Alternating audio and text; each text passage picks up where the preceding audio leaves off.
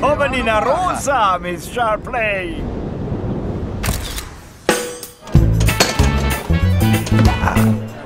Hey, ich schwöre, ihr keine Ahnung, wer das ist.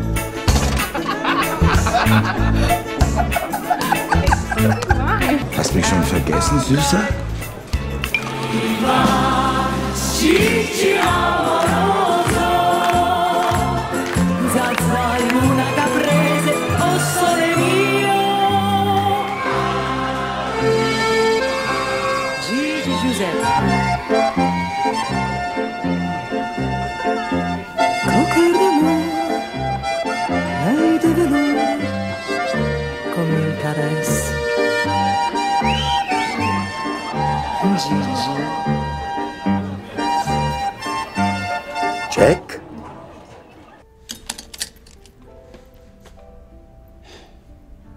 Habe schon gemeint, du seist gestorben. Bin ich auch. Ich glaube, ich brauche jetzt eine Zigarette. Okay.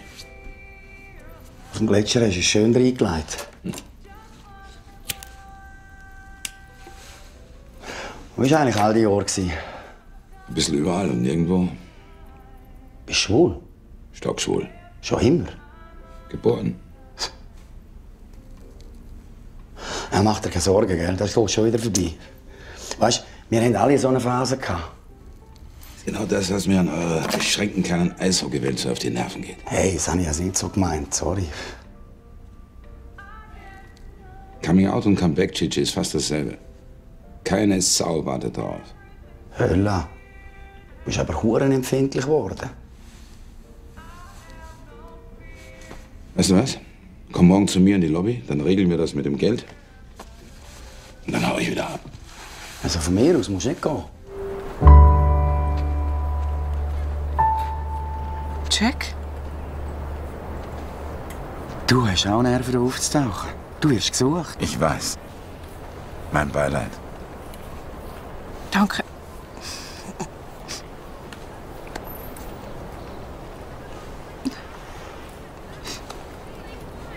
Nachwuchsproblem hat andere auch. Sie Lachnummern. Äh, Moment, Herr Müller. Da ist noch jemand, der gerne würde Grüezi sagen Hallo, Augenblick bitte, ja? Äh.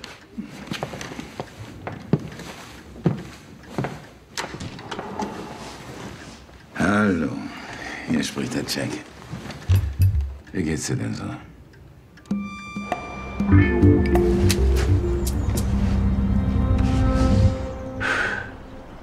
Am Sonntag um zwei ging den ERC St. Moritz in Arosa. Ist jetzt aber nicht wahr, oder?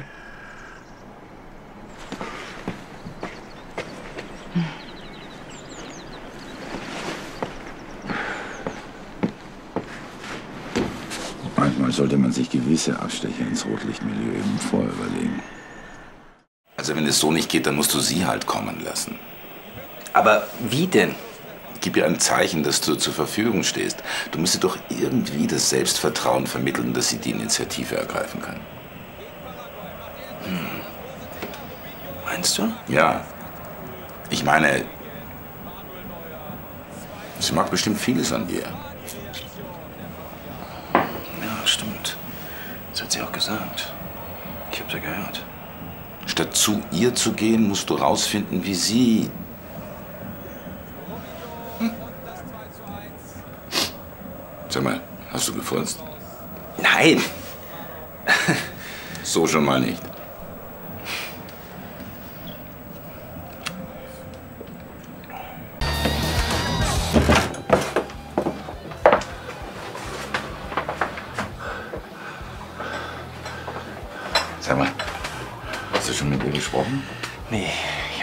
Dagegen entschieden. Ich glaube, ich habe mich einfach geirrt. Geirrt? Sag mal, gestern bist du noch völlig von den Socken. Jetzt hör mal auf damit. Ich glaube, ich, das war einfach so eine hormonelle oder so eine stressbedingte. Was ist denn los, Johannes? Ich will mich einfach nicht darauf einlassen. Und ich will auch nicht mehr darüber reden. Ich wollte doch nur. Will nicht. Jetzt will er nicht. Ja. Okay. Ich weiß nicht, ob die Welt je verbessert worden ist. Ob sie nicht immer und ewig gleich gut und gleich schlecht gewesen ist.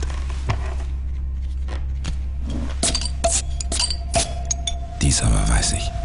Wenn jemals die Welt durch Menschen verbessert, durch Menschen reicher geworden, lebendiger, froher, gefährlicher, lustiger geworden ist, so ist es nicht durch Verbesserer, sondern durch jene wahrhaft Selbstsüchtigen, zu welchen ich euch auch so gerne zählen möchte. Jene ernstlich und wahrhaft Selbstsüchtigen, welche kein Ziel kennen, welche keine Zwecke haben, denen es genügt zu leben und sich selbst zu sein.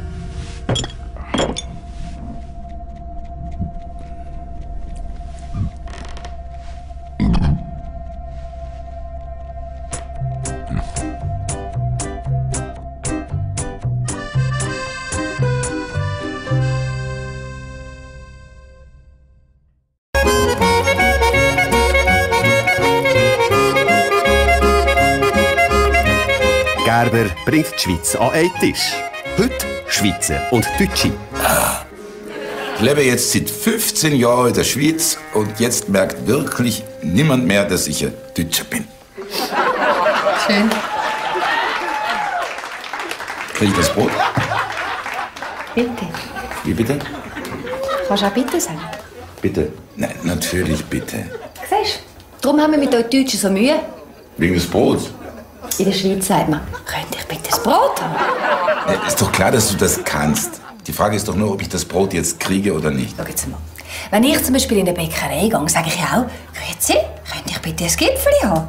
Und ich weiss und die Verkäuferin auch, dass sie mir das geben kann. Ich gehe doch nicht rein und sage, du, hey, Frau, komm, rüberkommen, hä? Gipfeli, hopp, zack, zack. Sag mal, äh, hm, ist dir schon mal aufgefallen, dass ihr Schweizer mit diesen Höflichkeiten sehr kleinlich seid? Immer dieses sinnlose Miteinander nett sein, pausenloses Grüezi sagen und dann dieses immer wiederkehrende ein Gruß an ihre Frau, obwohl sie der reinste Hausdrachen ist. Das stimmt doch gar nicht. Wir sagen nicht alle Grüezi. Da soll einer durchblicken. Wie viele Fettnäpfchen ihr aufstellt, ist doch klar, dass der Preuße da reintritt. Ich will schon fast von substanzieller Hinterhältigkeit sprechen. Substanzielle Hinterhältigkeit. Solche Wörter brauchen wir in der Schweiz doch gar nicht. Ja, bei uns ist einfach alles viel praktischer und einfacher. Deutsch, das ist für uns eine Fremdsprache. Darum hat der Schweizer das Gefühl, er sei an einer Deutschprüfung, wenn er mit einem Schwab redet.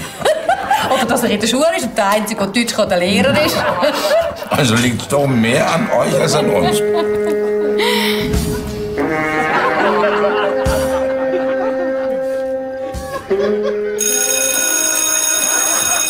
Schweizer hat immer ein Sackmesser dabei. Er weiß immer, was für Zitas es ist. Und er kann ein gutes von einem schlechten Fondue unterscheiden. Sie, Sie meinen diese Käsesuppe? Käsesuppe. Das müssen Sie hier hinten sagen. Jawohl, ja, wie Käsesuppe, Küchenkästchen, Kuhfladen. Käsesuppe, Kurikastli, Kurflade. Was ist das? Hund. Katze, Maus. Die Klasse, irgendjemand? Jawohl, Hans-Rudi? Eine Kuh, richtig. Die Kuh ist die Produzentin des wichtigsten Schweizer Grundnahrungsmittels. Und das ist... Genau wie bei den Bayern das Bier. Nein, es ist Milch. Daraus macht man dann... Oh, der Deutsche wieder. Mhm, ja. Shake. Nein, Käse. Ah, genau. Und das gibt dann... Hä? Was, oder was? Hä? Konzentration, nicht ablenken. Vier, drei, zwei, eins. Fondue. Jawohl, aber man sagt Fondue mit einem langen O oder einem französischen Ü.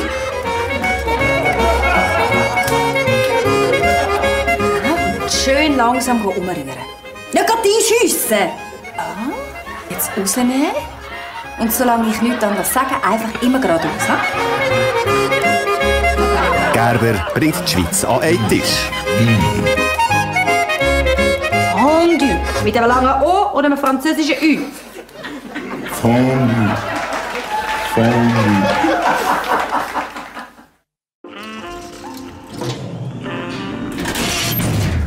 Nein, ist jetzt aber nicht wahr. Was schmeckt das so? Nach Feuer? Nein, nein. Das schmeckt nur nach blockierten Bremsklötzen. Der unterste ist der Alarmknopf. Gott sei Dank. Danke. Danke, dass Sie so ruhig geblieben sind. Keine Ursache.